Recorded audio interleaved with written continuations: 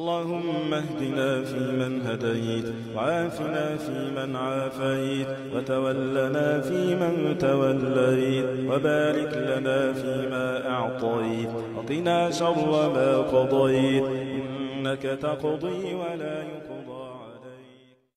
السلام عليكم ورحمة الله وبركاته. إن الحمد لله وحده والصلاة والسلام على من لا نبي بعده. আম্মা অনিকুল ইসলাম বাংলাদেশ থেকে প্রশ্ন করেছেন, তিনি জানতে চেয়েছেন যে মসজিদে ঘুমানোর বিধান কি? মসজিদে ঘুমিয়ে থাকলে কোনো সমস্যা কি না? তিনি জানতে চেয়েছেন। আলহামদুলিল্লাহ, খুব সুন্দর একটি প্রশ্ন করেছেন। মসজিদে ঘুমানো যাবে, এতে কোনো সমস্যা নেই। প্রয়োজন অনুপাতে। প্রয়োজন না থাকলে মসজিদে বসে কোরআন, তেলাওয়াত, জিকির, আজকার তাসবি তাহলিল করার চেষ্টা করতে হবে। যেহেতু মসজিদ হচ্ছে ইবাদতের জায়গা, সেহেতু এই জায়গার হিসাব অন্যরকম।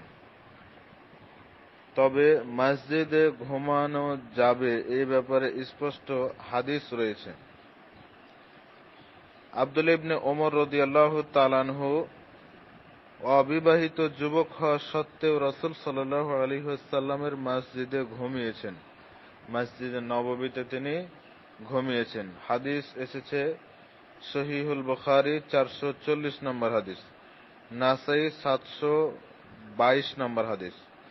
সই বুখারিতে এই হাদিসটি বারো জায়গায় রয়েছে। চারশো চল্লিশ নম্বর হাদিসটি বের করলে বাকি দলিলগুলো পেয়ে যাবেন। যেখানে এই হাদিসটিতে বলা হয়েছে যে আখবরানি আবদুল্লাহ ইবনে অমর আন্নাহু কানা ইয়ানামু ওয়া হুয়া শাবুন আযাবু লা আহলা লাহু ফি মসজিদিন নবী সাল্লাল্লাহু আলাইহি ওয়াসাল্লাম। আল্লাহর নবীর মসজিদে আব্দুল্লাহ ইবনে ওমর অবিবাহিত যুবক অবস্থায় ঘুমিয়েছেন, যখন তার কোনো পরিবার থাকতো না। পরিবার ছিল না, এ সময় তিনি ঘুমিয়েছেন। এরপরে আলী রদিয়াল্লাহ তালানহু তিনি রসুল সাল্লাহ আলহিহাসাল্লাম এর মসজিদে ঘুমিয়েছেন। মসজিদে তিনি ঘুমিয়েছেন। এ মর্মে সহি বুখারিতে হাদিস রয়েছে চারটা। চারশো একচল্লিশ নম্বর হাদিস সাহাল ইবনু সাউদ রদি আল্লাহ বর্ণনা করেছেন। এ হাদিসে বলা হয়েছে আলী রদি তালানহু মসজিদে ঘুমন্ত অবস্থায় ছিলেন। তখন তার শরীরে মাটি লেগেছিল।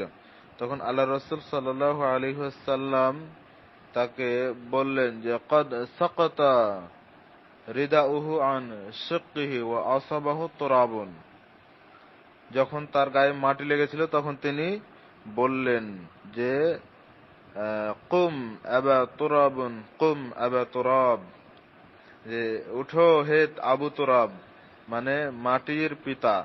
এটা আল্লাহ রসুল সাল্লাহ আলহিসাম আলী রদিয়াল্লাহ তালনকে উপাধি দিয়েছিলেন। সই মুসলিমের মধ্যেও রয়েছে হাদিসটি দুই হাজার চারশো নয় নম্বর হাদিস।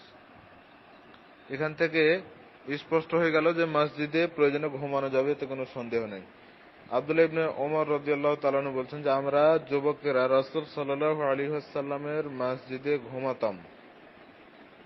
যে হাদিসটি রয়েছে তিরমিজি তিনশো একুশ নম্বর হাদিস, ইবনে মাজা সাতশো একান্ন নম্বর হাদিস। অতএব প্রয়োজনে মসজিদে ঘুমানোতে কোনো বাধা নেই।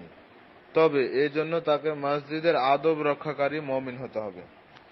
মসজিদে ঘুমানোর সুযোগ পেলাম এই জন্য